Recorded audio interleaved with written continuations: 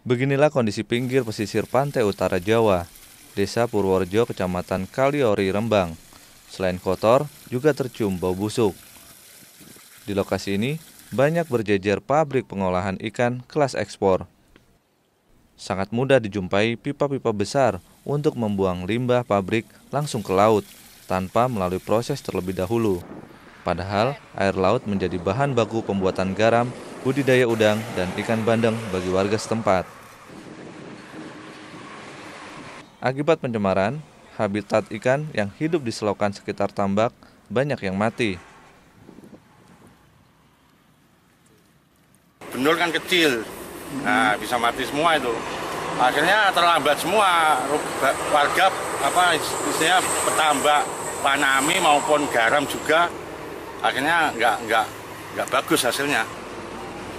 Pihak desa Tasik Harjo sebenarnya telah berulang kali melaporkan dugaan pencemaran limbah kepada pemerintah. Tapi sampai sekarang belum ada kejelasan apa hasilnya dan bagaimana tindak lanjutnya. Dari Rembang, Jawa Tengah, Udin Aldinani melaporkan.